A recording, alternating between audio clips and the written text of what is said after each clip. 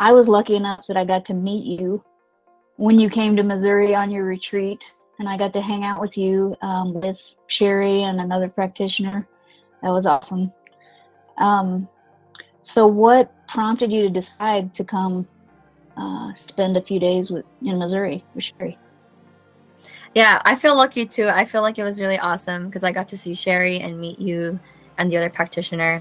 What what really prompted me was knowing that there was an opportunity in the first place. I felt like it was not just about me going to session, but actually immersing myself in the experience. I've never been to Missouri, so I was like, oh, I, I, I don't think I would have ever thought to come to Missouri if I didn't know anyone. So I was just motivated to really, as she said, like experience the magic in person and just know that I would be going to a place where I would be taken care of, where I would be safe, and where I would have a more in depth weekend with answering really hard questions and doing some more self reflection. Gotcha.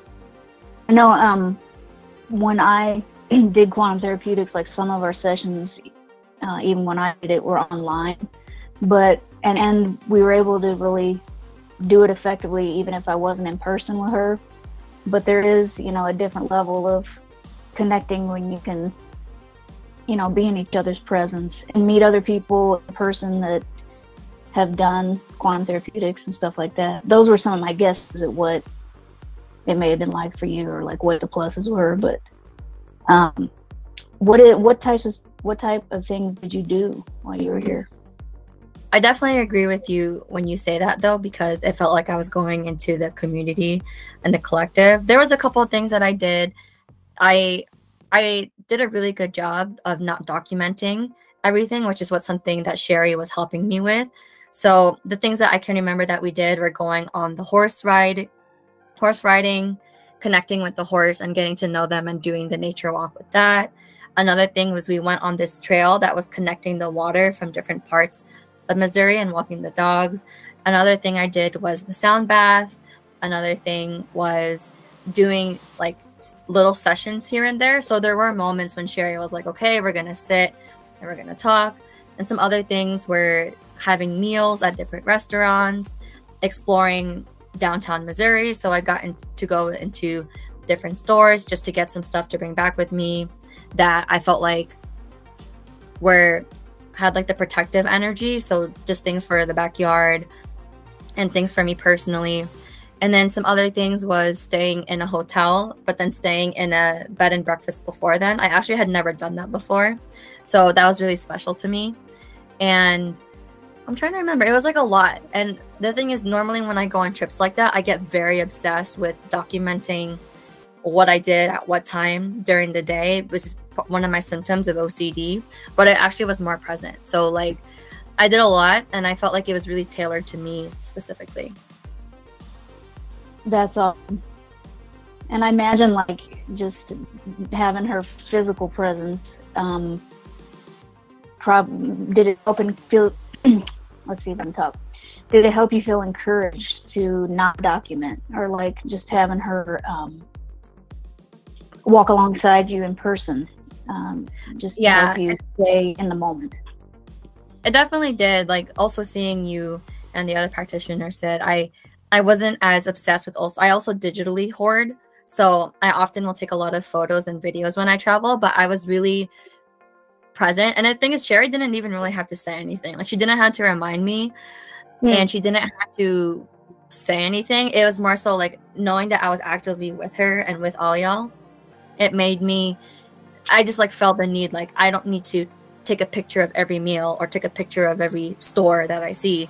I can just enjoy the meal, enjoy walking into the store, and just and just be in the moment. Because I, I also felt like Cherie gave me a lot of moments to have rest so there was times where I could just like lay down or just like reflect a bit. I also sometimes will physically write too much, so I made sure not to like write every single thing. And then it, it was more so just like having time to rest, and she would give me time to process and debrief, and then we would meet up again. Yeah, it's you got to have a like you got to have a lot of different experiences. It sounds mm-hmm. like. Yes. And I thought it was really cool when we got together, you know, toward the end of your retreat and celebrated and and did music. Like, what do you think of that time when, that we circled up? I thought it was it was very. I'm trying to find like because there's so many words that I can say. I'm gonna say I felt like it was. I don't want to say magical again because I already said that. I felt like it was a closing, but a beginning at the same time, if that makes sense. Because I felt like I was surrounded by people who understand what I've gone through, even if we didn't share share like everything in detail. Because there was the music, and I know you were drumming and saying lyrics that really resonated with me as an activist. And then I, I even got to dance a little bit. Normally in spaces like that, I feel like I have to dance when everybody else is dancing, but I felt like I kind of wanted to dance by myself without any fear. And it was cool that I felt like I was kind of explaining to y'all what I did because I wanted to invite y'all to dance with me because I feel like normally when I am dancing, it's usually with a group and it's kind of like we're almost still kind of performing in a way for each other. But in this case, it was more so like I feel really moved to move, even if it's just me. And I felt like I could invite y'all to be a part of it.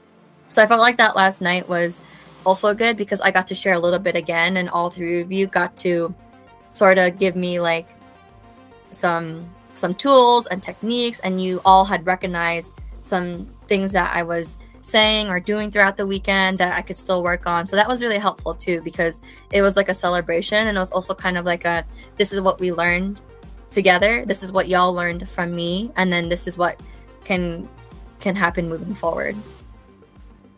Yeah, and you really seemed like comfortable in your skin. I mean, I know I haven't met you in person, you know, before your retreat, but um, yeah, I just observed that about you. like you just seemed really present, and um, it was cool to to watch you dance. And I get what you're saying. It wasn't really a performance. It's like we were just in the moment and sharing and connecting, um, like making medicine out of the the music and the dance together. Yeah, and that's how I felt. It felt like it was really a lot of energy healing that I haven't really done before and that I was looking forward to because I don't think I had mentioned I also had the tarot card reading. I was with the crystals, I was with different animals. I I even got to see the campus. I, I remember Cherie said that there was other things that I could do nearby. And it just felt like even though it was my first time in, in Missouri, I just felt like it was a lot of the moments with all of us and then a lot of moments outside of that where it did feel like I was in the moment and present. What was your favorite part, would you say? Oh, that's such a hard my favorite part like out of the whole weekend. Mm, or one of them if you one have to them, say yeah. favorite because I know that I'm glad it's hard because that means that you were yeah a lot of it. Yes. Mm, I think I would say it was my first I'll say like generally my first day when I first arrived and I had seen Cherie before she saw me. I feel like I'm gonna cry because she was waiting outside her car, and I think she thought I was gonna come from the other side. But I, I just like saw her first, and I felt like it was. I was like, oh, it's finally happening. And then as we were in the car, it was just really cool to see the signs of the famous places in Missouri because I I knew some people just from like the state of Missouri and around it. So I was like, oh, that's that city that that person was from, and seeing a lot of the green.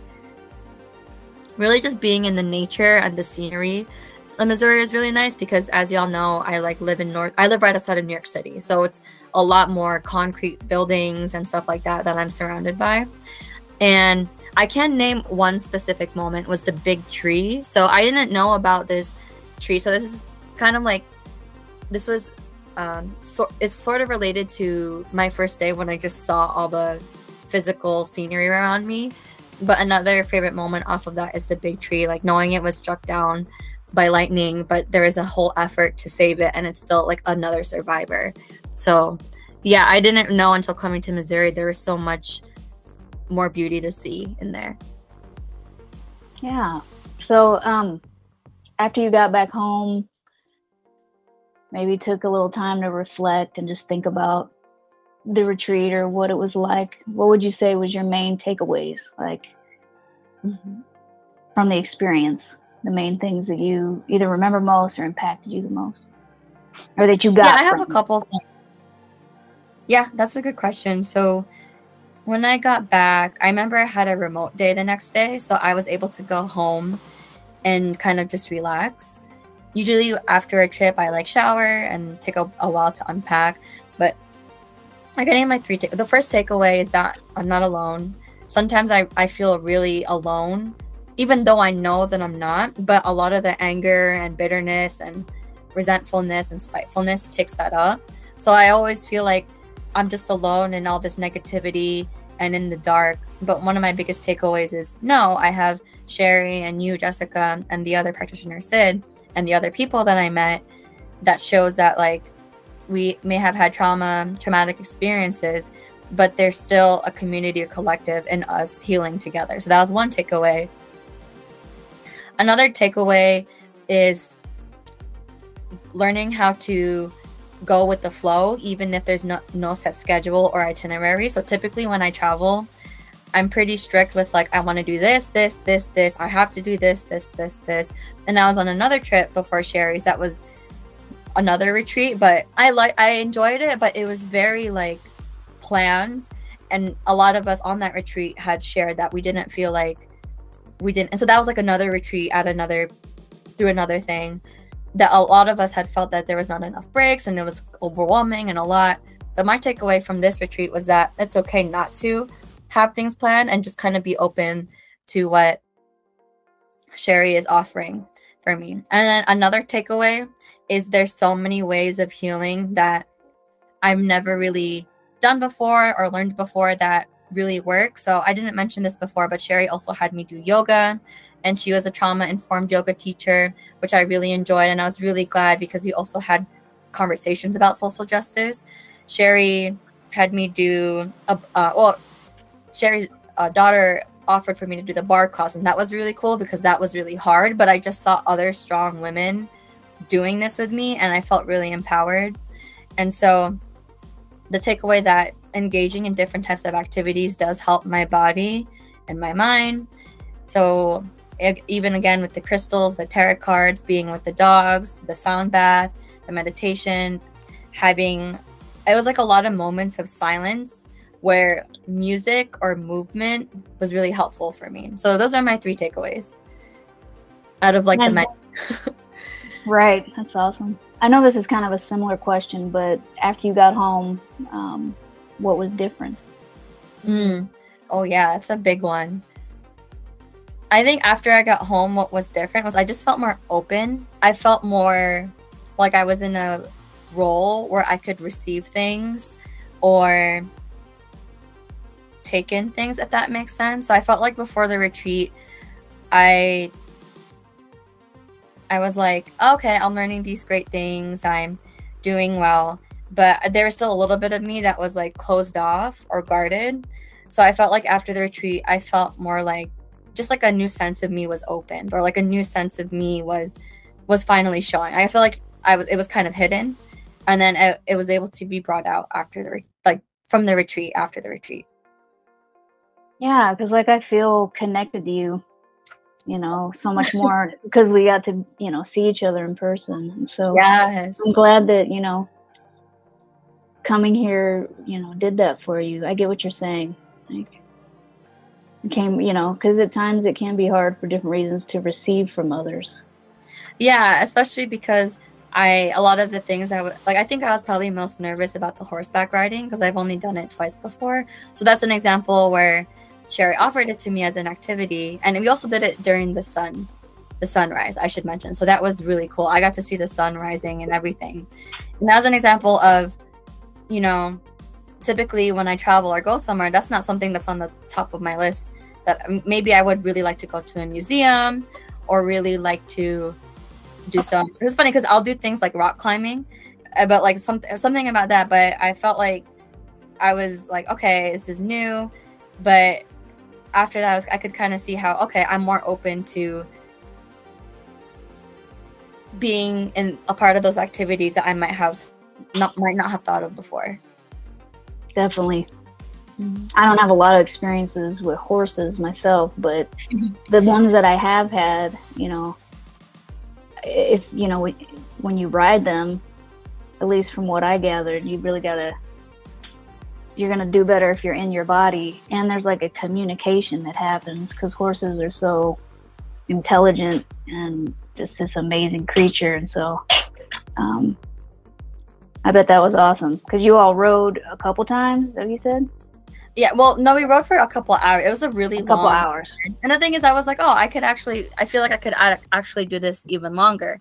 But I was grateful because it was early in the morning and we had so much time. I was like, oh wow, like we they really gave us, and even just all the other activities. I felt like it was really tailored to me, and it was really like, because sometimes I when I do activities or travel or retreats, it's usually like a group thing and i would have definitely enjoyed that too but i felt i definitely felt really spoiled i was like oh like this is really like i get to ask all the questions and i get to kind of have the focus on me so that's what i really appreciated because Cherie did a great job of like having me connect with you and sid and like family and people in the restaurant and people in the store people at the different places the teachers.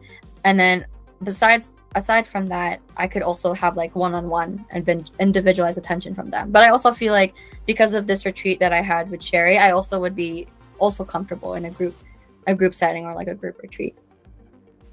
So you feel like the the activities that she had planned for you catered to certain things you'd been dealing with through the Quantum Therapeutix up to when you came. Is that what I hear you saying? Like yeah it was definitely a mixture of things that i asked for because i had asked for like yoga massage oh because Cherie also had given massage as well because i, I felt like i got hurt i was i had a, a bad back injury a couple months ago and then i had like my neck hurt during the retreat so she gave that too so i felt like it was a good mix of hey these are things i want. Massage yoga tarot reading working with crystals working with the pendulum. But then she also contributed activities that she felt like would be good for me. So i felt like you know the horseback riding the sound bath the eating at different restaurants and meeting you and Sid i was like oh i i didn't know this was also happening. This is really cool. Like that those were things that she had thought of for me. And even like the trail walking the dogs being by the water just doing like all those different activities was also it was a great balance awesome. Well, thanks again, Kirsty Nicole, so much. Um, your contribution here is really invaluable. It's going to be really helpful. thank you Appreciate you taking the time, and you know we'll see you again soon. I'm sure. Yeah, I feel like especially because when I do I end up going back to the place eventually. Like even if I go there once, I end up going like a second or third time. Huh. And I feel like seeing y'all again in Missouri would be You want to come back to Missouri? Yeah, I do. Okay. I do. And we'd love to have you. yeah, yeah, I would love that too. It was Maybe someday we'll have a big like in-person conference with lots and lots and lots of people. yeah, and know. that's what I'm sorry. I said you never know. Yeah, and that's something that I would be really excited for because I feel like I would be coming still from just like the New York City area and bringing my experiences and being able because even on just the app, like I already feel like I connect to a lot of people on the app. I know I've mentioned it a couple times, but just the way that all of you are able to build community is really great because I feel connected. I felt connected through the app and virtually, but then also connected when I was in Missouri. And yeah, it was just really cool. And I felt like a lot of things that happened there like just meeting random people, them telling me about Missouri and the history. It was like all really meant to be, and it all it all really aligned. I would say. Perfect. like there is no stress, and I've been lucky. I've been on a lot of different trips and retreats and conferences, but I have to be honest that this is probably one of my favorite ones. Uh, wonderful. Yeah. I'm so glad to hear that. It seemed Yeah. like it was. Not that I know what your other travel experiences were like, but from how you were, how radiant you were when you were here, and Aw. everything you're saying right now. You know? Yeah, th- thank you. Yeah, and it was when I was like I felt radiant. I felt like shiny. I felt like yeah. As I had, I couldn't think of what the words were, but that's how I felt. Like I felt like I, was, yeah, I was like this. you were. Oh, are. thank you. oh, thank you for saying that too. Mm. All right, dear. Well, thanks again, and we'll. I'm getting a little teary eyed too. We love Oh. you. Oh, you could tell I was getting teary eyed. Well, you said earlier when you were talking that you were. But yeah. Oh, okay. Because I was gonna say I thought I didn't know if it was showing again right now. 'Cause I was- no, I think so. Yeah. Ah. we'll see you again soon, okay? Yeah, we'll see you. Oh, did I make you teary eyed, or were you just getting teary eyed in general? well, yeah, just thinking about, you know, I'm just so happy to get to do Quantum Therapeutix and to meet you and just different people and just how everything is growing and I'm Yeah. just happy for you. I just feel connected to you. So I feel that too. And I feel like that's because we've only known each other for a couple days at there and now a couple weeks. So maybe only down the road we'll like do some dance together. We can Yeah. stuff with dance for QT. Yeah, I love that. I'm, I've loved doing that in the other work that I do, so definitely willing to do for QT. And I'm glad that we could share like laughs and tears together. Definitely. Yeah. May there be more. Okay, sounds good. All right, lady. We'll talk to you later. Okay. Thanks again. Yeah, thank you, Jessica. Have a good rest of your day. Okay, bye bye. Bye-bye.